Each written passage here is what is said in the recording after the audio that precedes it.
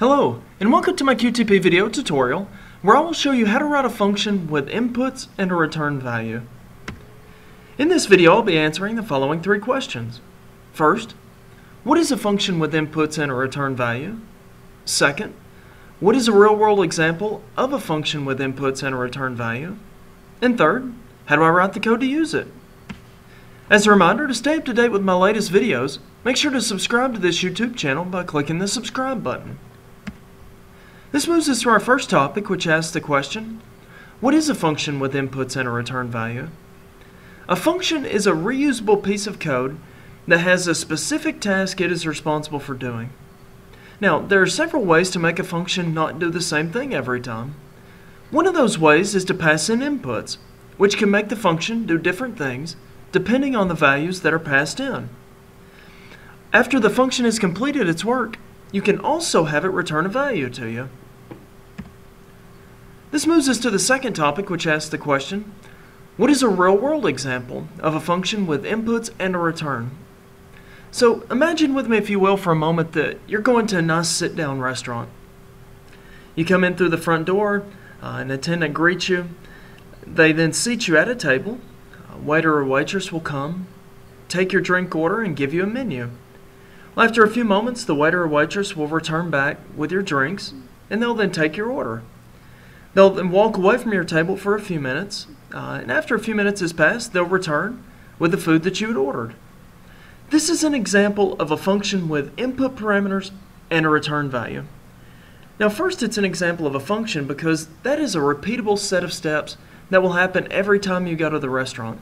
So every time you go to the restaurant, you'd walk through the front door, you'd be greeted by an attendant, they would seat you at a table, uh, a waiter or waitress would come, bring you your menu, take your drink order, come back with your drinks, take your food order, and then come back with the food that you'd ordered. So every time you go, those steps would be repeated.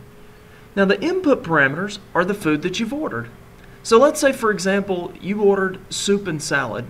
So that would in essence be the inputs that you would provide to the function.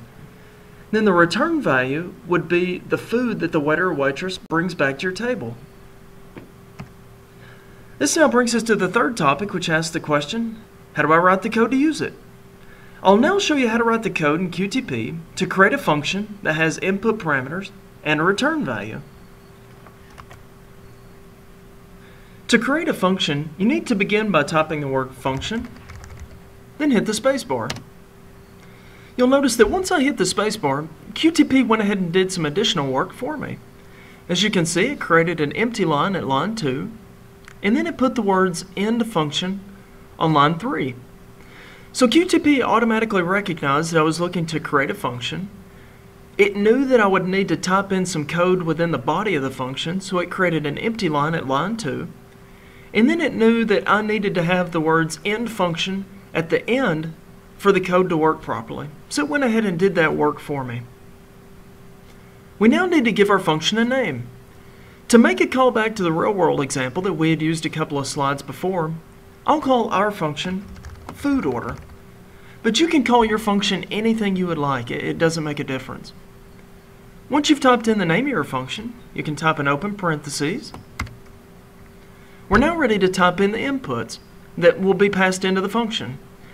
Now, you do not need to pass in inputs. Uh, you can pass in one input, two inputs, or as many inputs as you would like. It doesn't make a difference.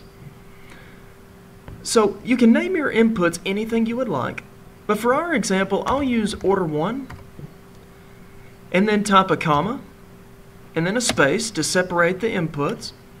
Then I'll type order 2. And this is making a callback to the real world example where I had ordered soup and salad.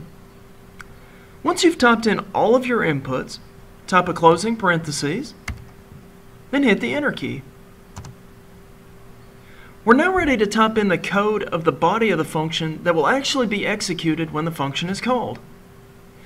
So in this function what I would like to do is take the two items that have been ordered, our, our example soup and salad, concatenate them together, then we'll send a return value out of the function that will say here is your order of soup and salad, or it would really be the two values that were passed in for the two inputs. So I'll begin by creating a variable that I'll call total order. I'll then concatenate the contents of order 1 and order 2 together into a variable. Now to send a return value out of a function, what you need to do is reference the name of the function.